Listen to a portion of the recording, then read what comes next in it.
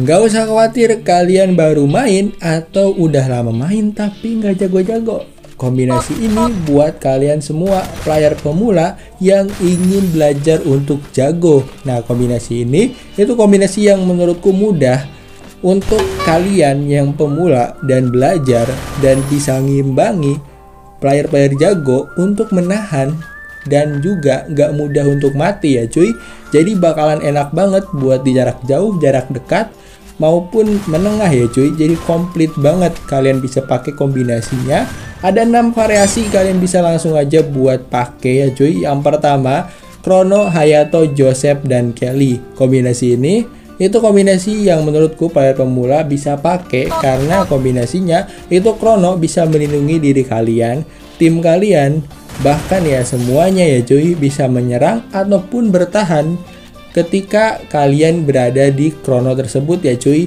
Nah, dengan tambahan Hayato, di sini kalian gak usah khawatir ketika kalian berduel di jarak yang cukup dekat atau berhadap-hadapan karena Hayato ini meningkatkan penetrasi armor kalian untuk menghancurkan armor musuh sebesar 5% saat darah kalian berkurang 13% ya cuy.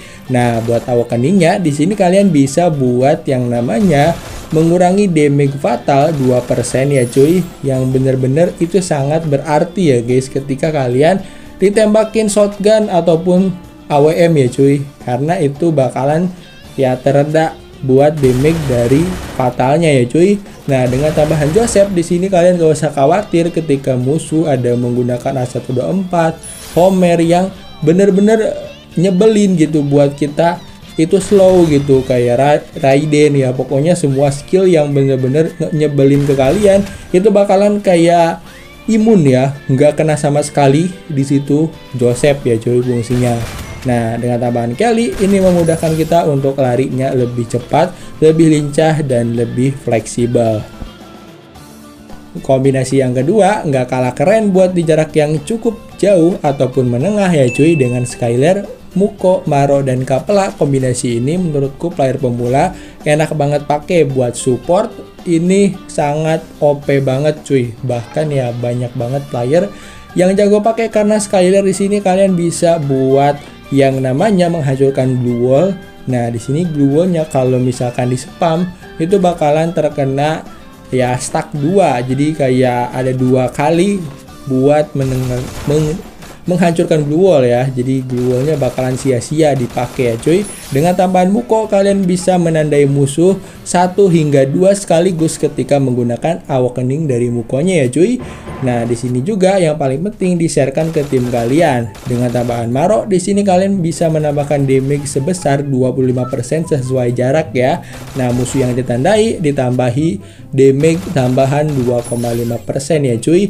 Dengan tambahan kapela di sini kalian bisa buat ngeheal teman kalian menggunakan senjata kalian ya cuy. Jadi bakalan gampang banget untuk nge-support teman kalian ataupun raser kalian cuy Kombinasi yang selanjutnya ini enak banget loh buat kalian semua pakai yaitu ada Tatsuya, Sunny, Nairi, dan Kelly.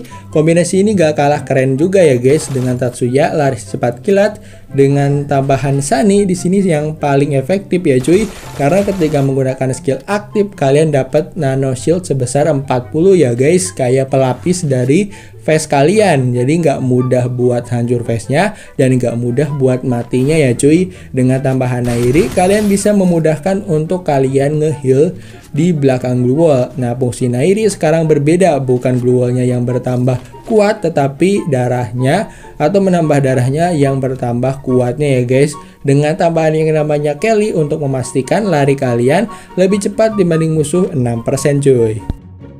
Kombinasi yang keempat gak kalah keren juga, ada Kak Olivia J. Dan Kak Bella. Kombinasi ini full support ya guys, full ngeheal teman, full pastinya senyum buat tim kalian yang pastinya yang terkena heal ya cuy. Dengan adanya Kak, kalian bisa mendapatkan EP plus juga bisa mengkonvert EP ke HP ya cuy. Jadi bakalan nambah terus darah kalian. Dengan tambahan Olivia apalagi menambahkan efek killing buat kita 30% buat teman kita yang pastinya di jarak yang cukup dekat terkena juga ya guys. Dengan tambahan J-Bibs untuk pemblokirannya sebesar 12% jadi damage musuh itu eh salah ralat ya guys ya. 8% sekarang. Tapi dengan 8% menurutku sangat-sangat bagus ya buat defense sekarang. Karena Andrewnya itu di parah ya cuy.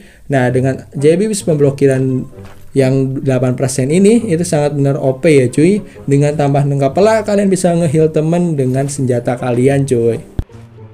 Kombinasi yang kelima ini pastinya kombinasi yang menurutku sangat-sangat OP ya cuy. Karena bisa buat kalian jago juga latihan. Halo Caroline Hayato dan Kelly, kombinasi ini buat kalian mainnya uh, pengen lincah atau masih belum lincah, pakai kombinasi ini uh, dijamin kalian bakalan gampang banget buat lari pakai alok ya 15% lebih cepat dengan tambahan darah 50 per detik 5, 5 darah ya cuy dengan Caroline kalian bisa memegang shotgun menambahkan larinya sebesar 16% dengan Hayato kalian bisa meningkatkan penetrasi armor kalian dengan tambahan Kelly untuk lebih cepat larinya 6%. Jadi bakalan enak banget buat latihan player pemula ke jago. Ini kombinasi yang kelima menurut gue.